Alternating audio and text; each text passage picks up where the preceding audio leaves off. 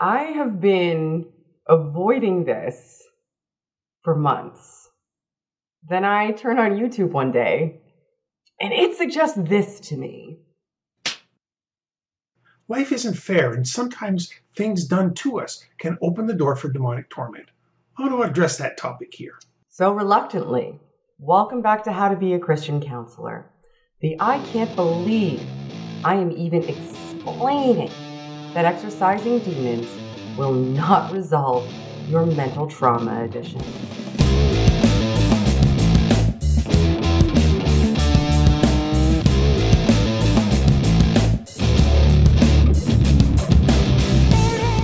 Hi, I am Shannon Q, and if you are new to this series, you may want to click the playlist above to see exactly who and what Above and Beyond Christian Counseling Services and the NCCA are, though that is not critical for today's discussion.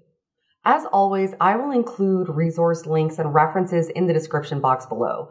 Please advocate for your own understanding and check my sources and investigate all of these concepts for yourself. There are also links to legitimate mental health resources if you're looking for help or are affected by or relate to some of the difficult concepts that we're going to discuss here today, please utilize them. In previous videos, I have done more of an overview of NCCA certified Christian counselors and their qualifications and therapeutic strategies in this video, I'd like to start focusing on the types of targeted counseling strategies they publicly profess to employing with clients in their really expensive paid counseling practice.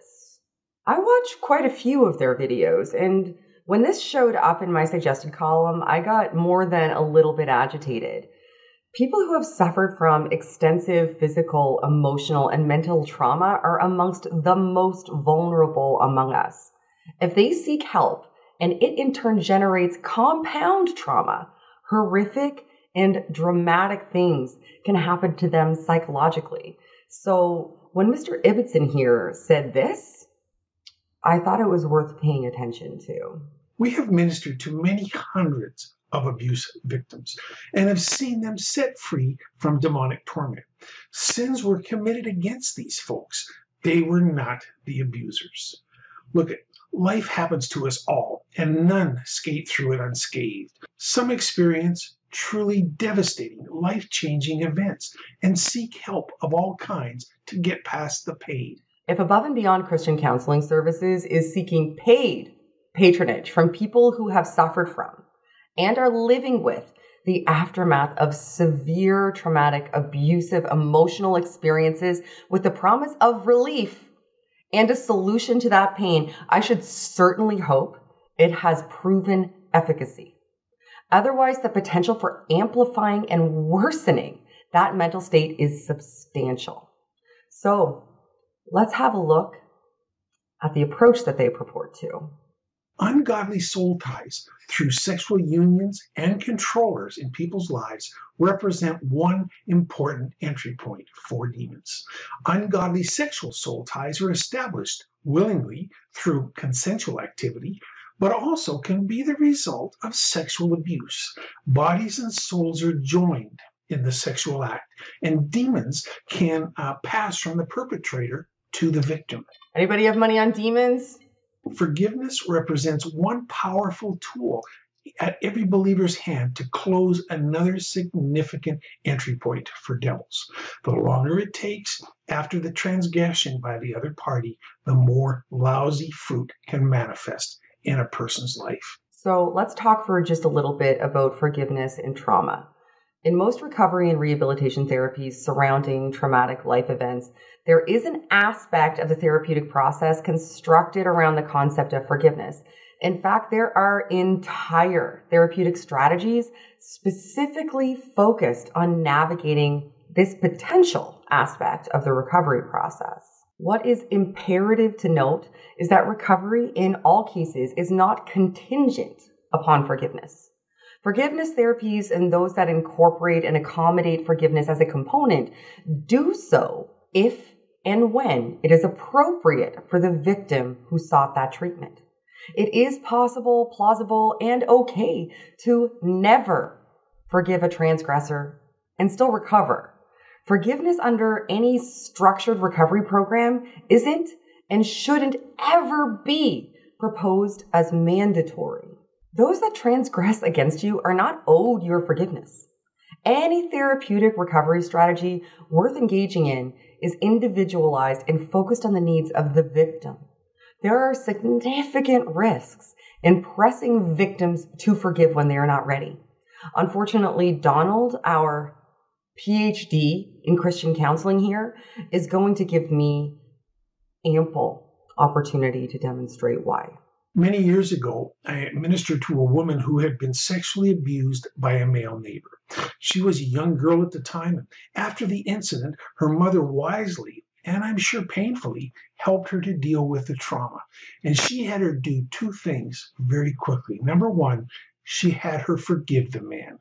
Being young at the time, the mother probably had to teach the youngster about what forgiveness was and exactly how to do it. So the opportunity to elucidate has presented itself fairly quickly, it would seem. In this instance, just referenced a child. A child was violated by a neighbor. These principles hold true for an adult who has suffered similar trauma, but the situation is inarguably amplified when you are a child who hasn't yet reached full cognitive development. When forgiveness is introduced as an imperative to a victim of abuse, several things occur from a cognitive perspective. Primarily, it places the burden on the victim.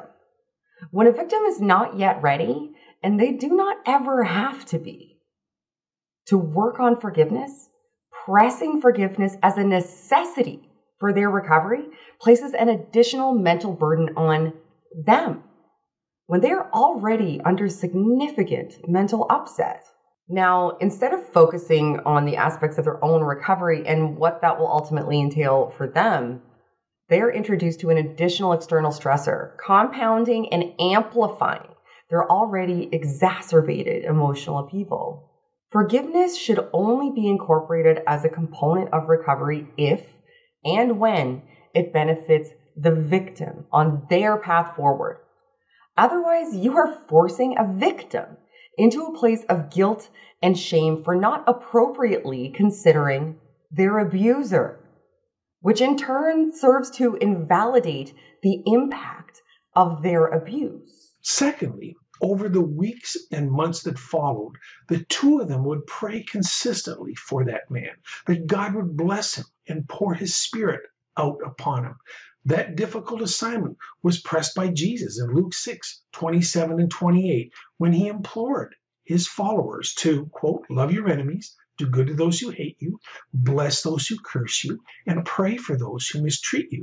This is where this approach alone, even if we disregard the demons, can become dangerously damaging. When someone is traumatized by physical or emotional violence, that is enacted upon them by a perpetrator, a shift in focus to that perpetrator can send the message that the abuse they experienced isn't valid or important compared to the consideration of the person who caused that trauma. There is a very important space in therapeutic settings for forgiveness, empathy, and even ultimately reconciliation. But prior to that being healthy or even conceivable for the victim, the trauma itself needs to be addressed.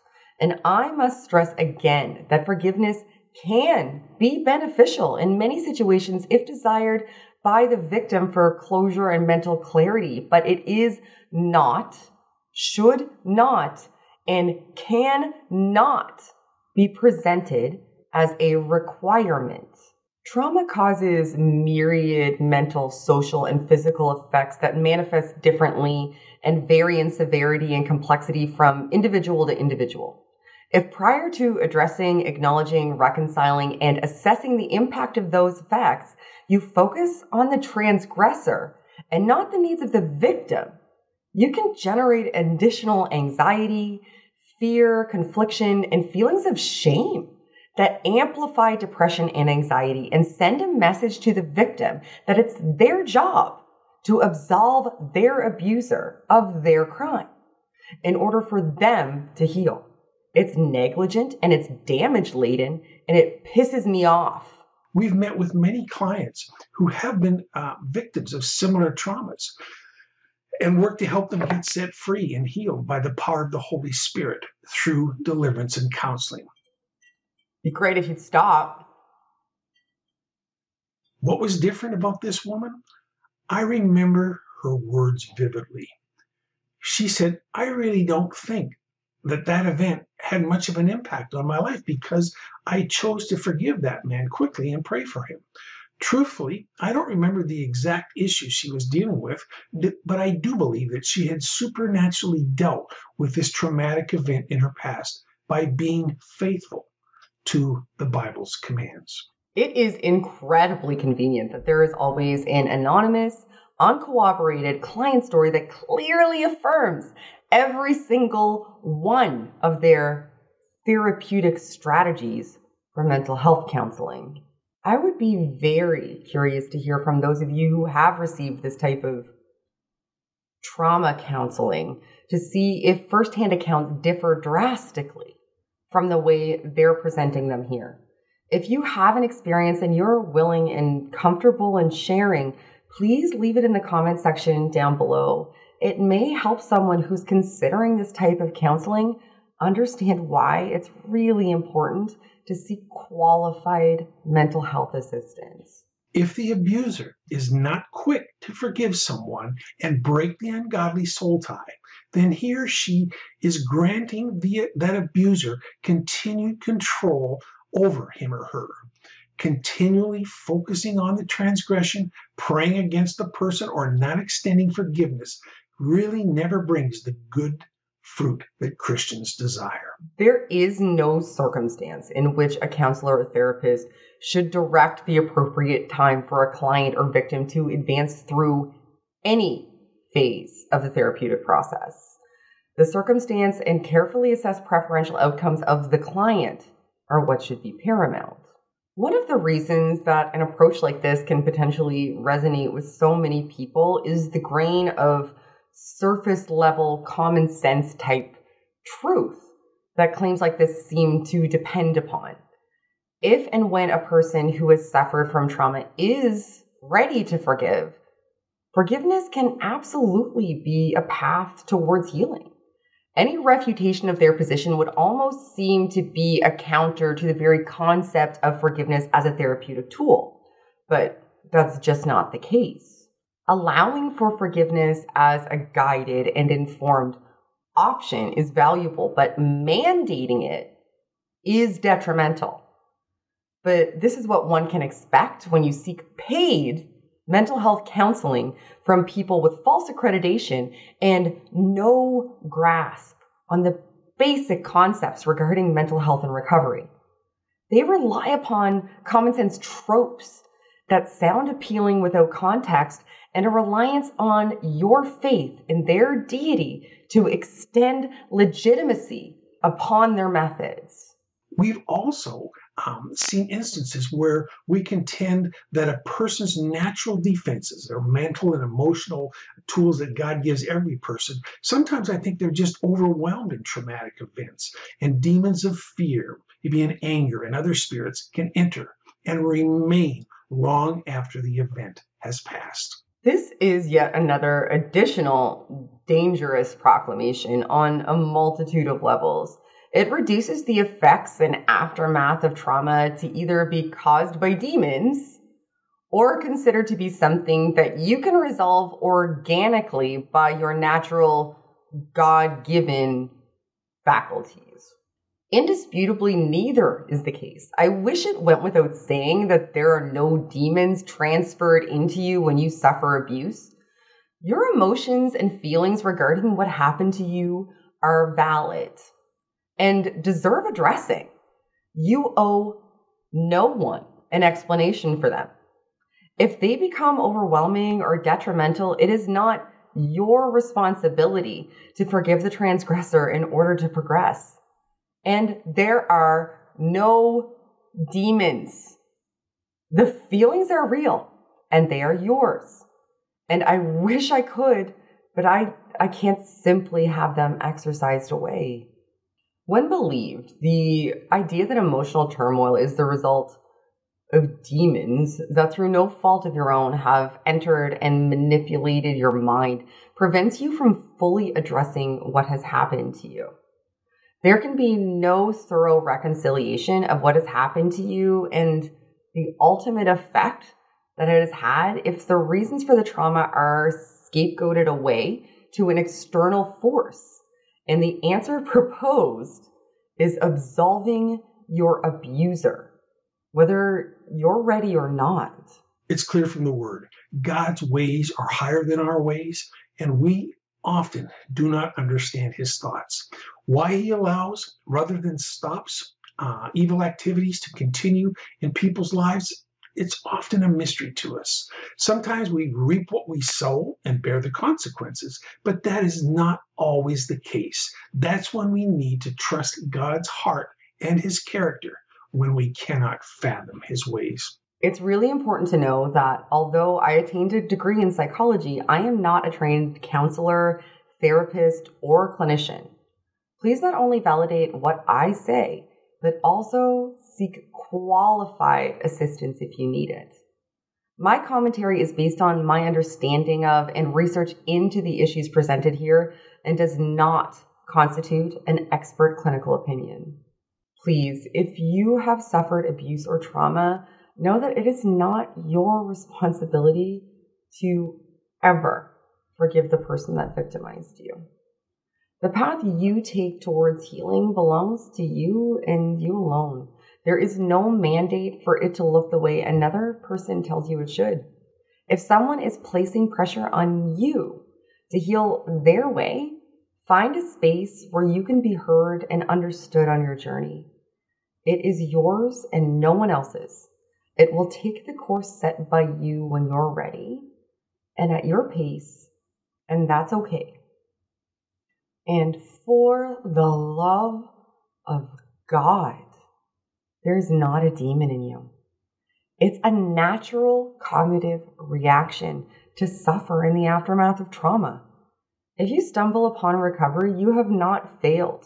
You did not allow a demon back in through your transgression. You're human. This is normal. Keep going. People care, and you're worth continuing on. Don't contact Above and Beyond or any NCCA licensed Christian counselor, please. If you need it, find someone who can really help you. You matter, and you deserve it.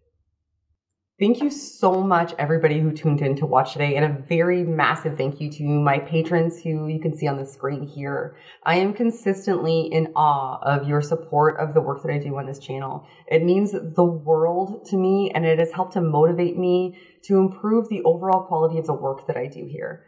Please, if you do need help, make use of the links that I've provided in the description. You are worth it. Don't trust people from the NCCA.